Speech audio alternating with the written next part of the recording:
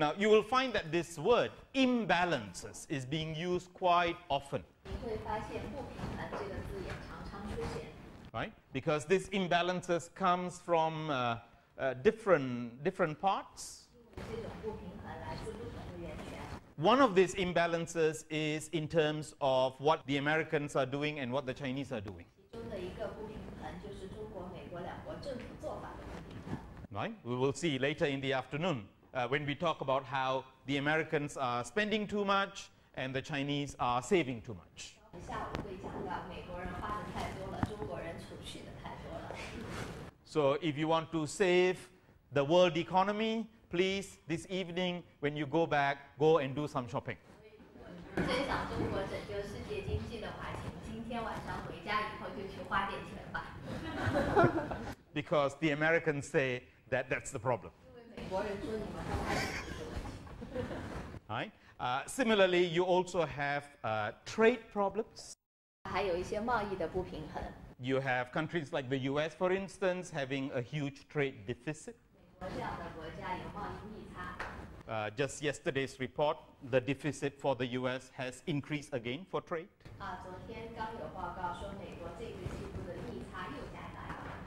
Obviously, trade deficit for them would mean trade surplus for us. That is another one of those imbalances that exists. Right? So you will see this term imbalances, as I said in the beginning just now, that the problem that we have is the problems are different in different parts of the world, and so the solutions that are being introduced by some countries is having an adverse effect in other countries.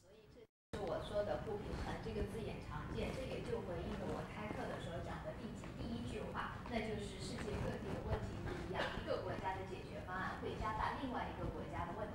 So, for instance, if we talk about interest rates, 比如说讲利率好了， in the US, they are keeping their interest rates low.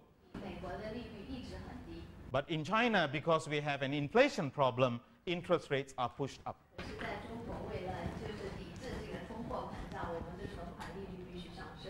when you have one country interest rates are low, another country interest rate is high, what will happen to money? Money flows from one to the other. Right? So, on the one hand, when we try to reduce the money in China, but it also means money is flowing into China from outside.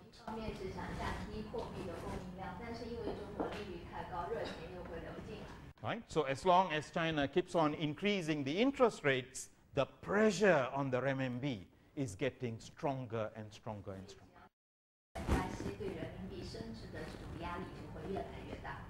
Right? So you can see the problems are different, solutions have to be different as well. But because we are more globalized, it becomes much more problematic.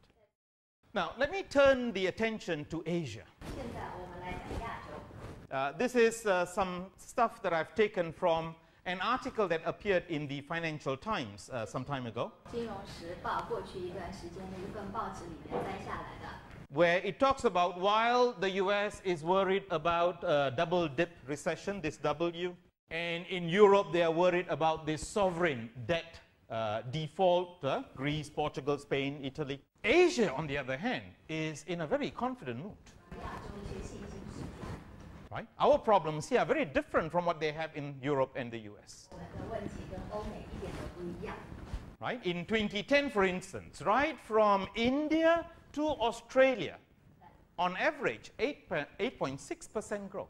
So while in one part of the world they are struggling to have positive growth, on the other side here in Asia, we are actually having an average of more than 8% growth. 所以世界的一个地方拼命努力，才可以想要获得正的经济增长，而在亚洲这里却平均增长率在百分之八以上， This is the fastest pace in 20 years. 这是二十年来最快的发展步伐。 Right? So of course in Asia the question is, what crisis? 所以亚洲人常会问的是危机在哪儿啊？ Look at some of, it, some of these examples here. In countries like South Korea, Indonesia, these countries are actually in better shape than before the crisis. India has rarely bought, a paused for breath. China, of course, we know. But China's growth is also helping countries like Australia, Indonesia, these countries with natural resources, to also have high economic growth. 要注意的是，中国经济的增长还带动了其他具有丰富资源的经济体，包括澳大利亚和印度共同增长。 As I mentioned before the break, for the first time, Asia's contribution to a global recovery is outstripping that of other regions. 在这里，我上面已经讲过了，亚洲对全球 For the first time in history, the world is looking at Asia to save them from the crisis. Right? So the question that comes up, two interesting questions, two important questions that comes up. The first question is, how has Asia's export-dependent economies proved to be so resilient? How is it that while the rest of the world, uh, especially Europe and North America, are going through these economic problems, how is it that Asia's growth seems to be better than before?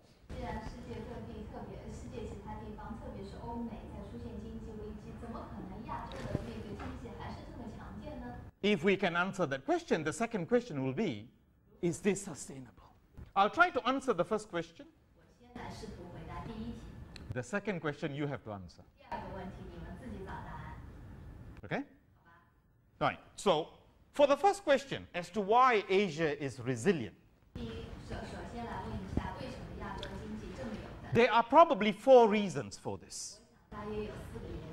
I, I think the first reason is probably the most important one. The reason why Asia is resilient is because we had our problems 12 years ago. We had our own crisis in 97, 98. If you think about it, sometimes I say, thank God we had our crisis in 97.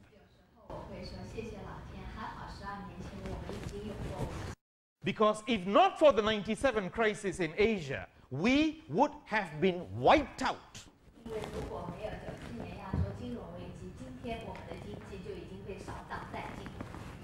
So luckily we had the 97 crisis.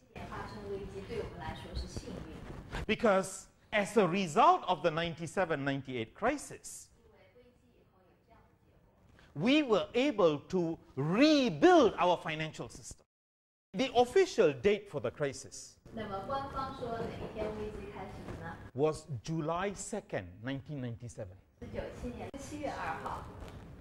Many of the currencies in uh, these East Asian countries were very much pegged to the dollar. In Thailand, for example, it was 25 baht to the dollar. 25 baht for a long time. You remember the speculators were playing this game they were betting that this bank that the Bank of Thailand had created will be broken.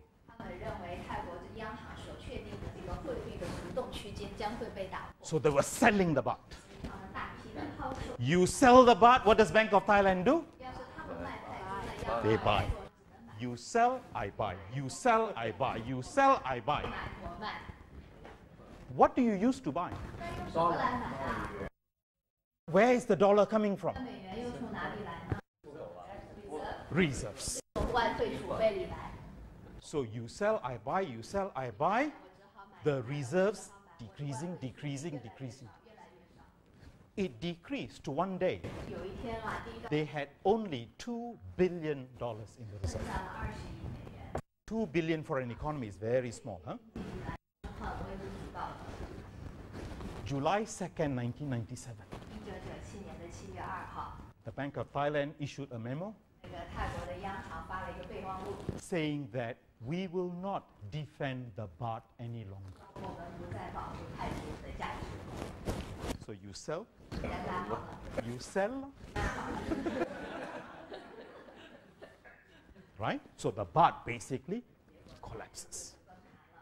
At one time, from 25 baht to the dollar, it goes to 50 baht to the dollar. Thailand finish, they go to South Korea with the one. Huh? Same story. Finish Korea, they go to Indonesia. Finish Indonesia, they went to Malaysia. After Malaysia, they went to Hong Kong. Hong Kong, you know, it is a packed currency. 7.8 Hong Kong dollars to 1 US dollar. So they started to sell the Hong Kong. You sell, the Hong Kong Monetary Authority buys it. One day, okay. Two days, okay. Third day, Hong Kong got worried. On the fourth day, People's Bank of China issues a memo. They said, if Hong Kong cannot defend their currency, we will defend it for them. And the speculators backed off. huh? This is this is what Dager, right? right? That was 1997, 1998, right? The entire financial system of uh, Thailand, Korea, nearly all countries in the region were basically bettered.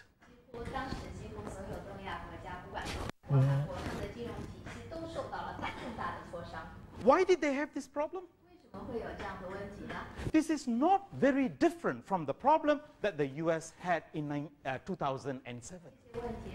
这些问题和美国在两千零七年出现的问题没有多大差别。 You remember the subprime crisis? 记得次贷危机吧？ It was the same problem. 也是一样的问题呀、 I remember in 1994, 我记得在九四， I was working in New Zealand. 我那时在新西兰上班， And during the summer, when I go back to Malaysia, 夏天的时候回到马来西亚， all my friends talked about was two things 所有的朋友谈话只有两个话题， real estate, 一个是房地产， stock market. sounds very familiar, right? Real estate was so good. Even before one toothpick goes into the ground. That real estate has been sold, resold, resold three times.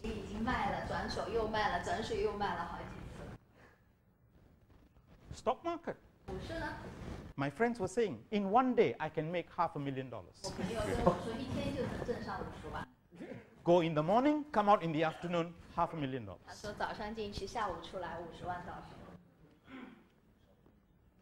At that point in time, if you were to say, I'm going to invest in Asia,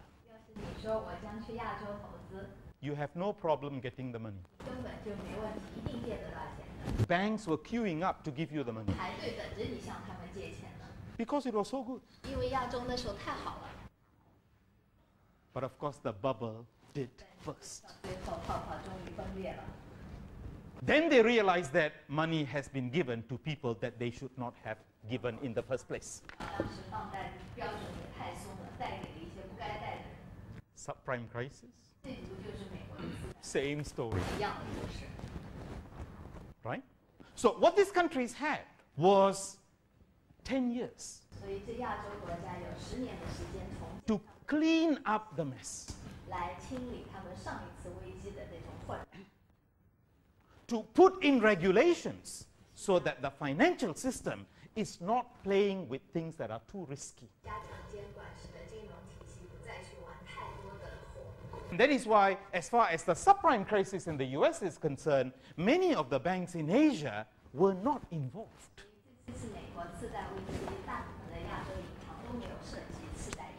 Because the new regulations did not allow them to buy these subprime assets.